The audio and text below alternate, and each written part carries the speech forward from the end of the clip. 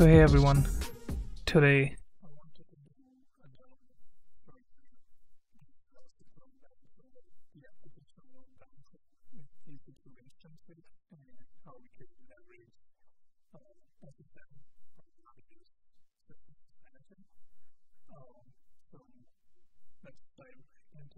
and as you guys can see I already have an instance launched um, and what I would do is launch additional two of these instances um, just so that we can I can show you guys how uh, load balancers work.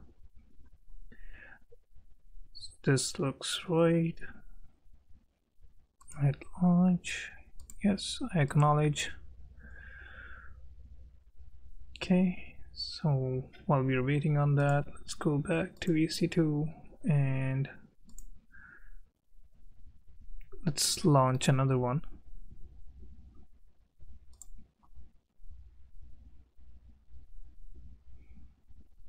Yo, I acknowledge.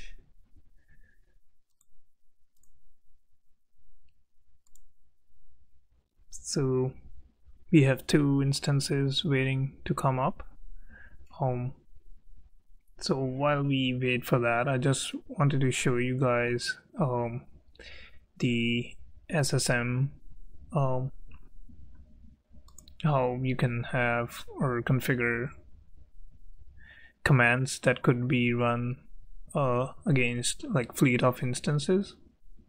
So under ssm if you go under documents um, and I already have created one so I can show you guys um, so it's I just named it Apache server since it installs Apache.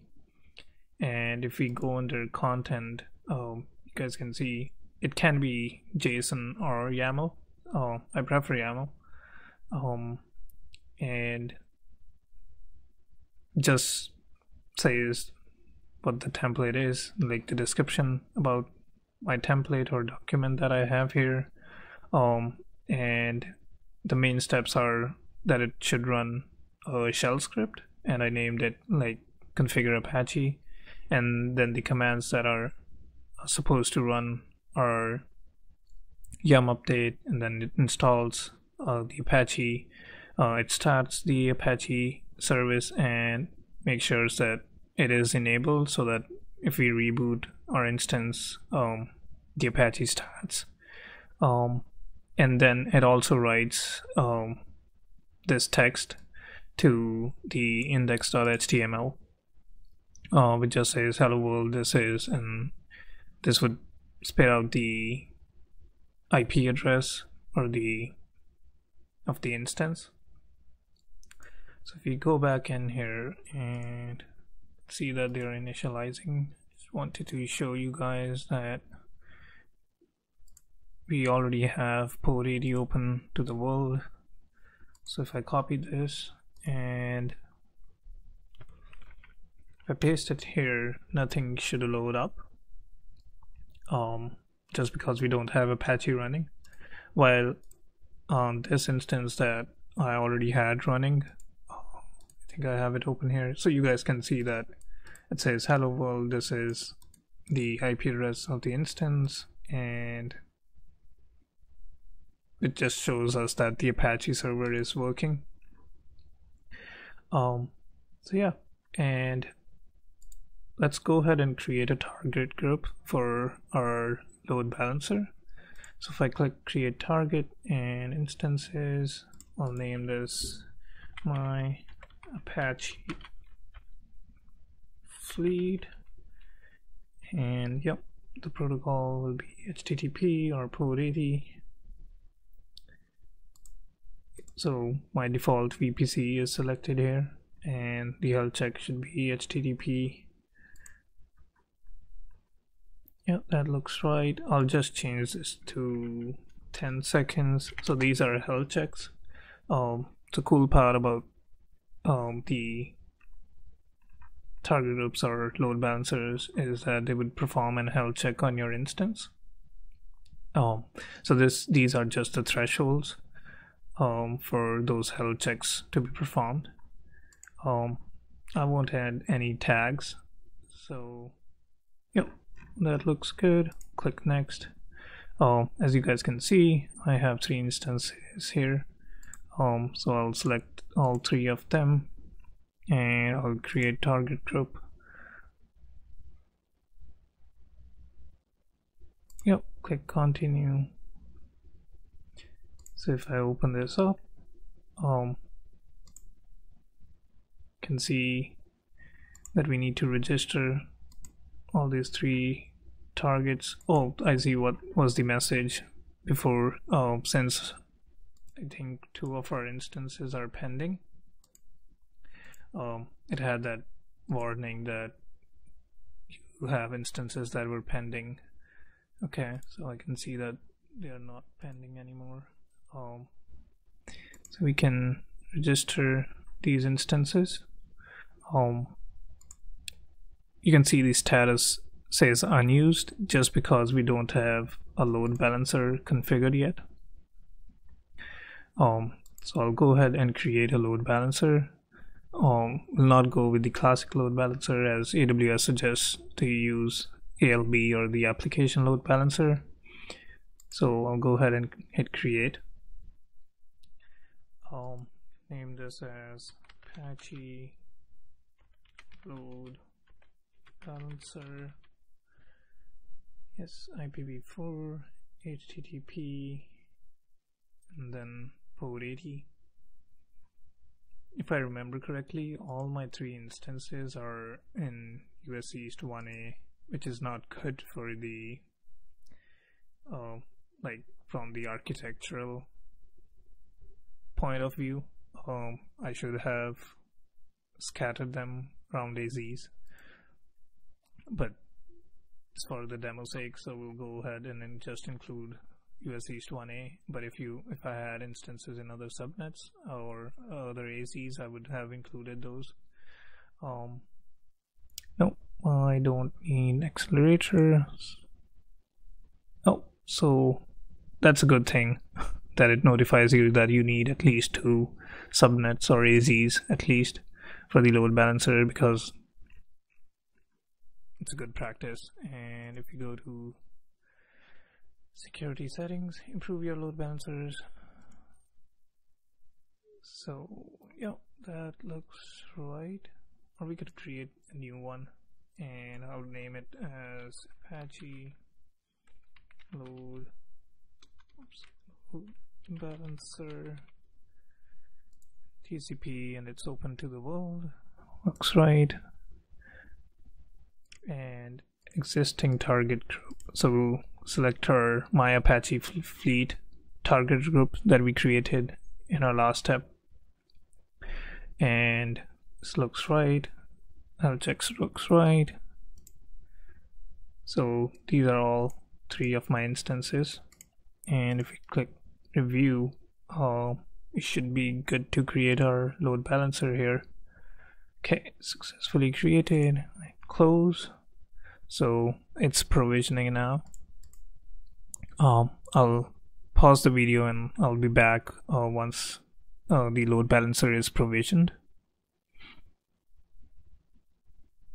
A few moments later. As you can guys can see um, the state of the our load balancer is active now. So if we go to target groups and see our instances as we saw that um, one of them already had Apache installed um, so the health check is healthy because it's serving that index.html over port 80 whereas uh, the other two instances they don't have Apache installed so it's not getting a 200 response from those two instances so now we can leverage um, SSM uh, to run or install and configure Apache through this document that we had uh, created using YAML. Um, this can also be done in uh, JSON. So if if I go into my document and click on run command, um, it should take me to yeah. So we are right into the UI and um, it says it's going to run this. Um, so you can have different versions of the document that you have and under targets um, the cool part is you can specify tags so um, in my case I haven't tagged my instances yet but in like production cases or when you're running multiple instances and you have instances that are tagged as prod or dev uh, you can run or configure Apache in our case on those instances based on the tag name. So I'll go ahead and click on choose instances manually. And if we go back here, um, we know that our this instance already has Apache installed. So I'll leave this one out and I'll select the other two. Um, I'll leave rest of these settings as default. I don't want an output to be written to S3. Uh, I don't need SNS notifications. I just wanted to show you guys is that you can have like it provides you with a CLI command. You know, let's say if you wanted to run uh, or configure Apache using this SSM document uh, through CLI. So you could use this command and you can so as you can see like SSM CLI is not supported on PowerShell yet but uh, for Linux you can use this so if we go ahead and click run um, it'll show you the progress and shouldn't take long so okay. Oh here's a success message. So as you guys can see we couldn't load this web page earlier or the other instance. Uh, now you can see that uh, it loads up fine. So this means that our Apache has been installed and configured. And if I refresh this uh, we should see the health checks to pass.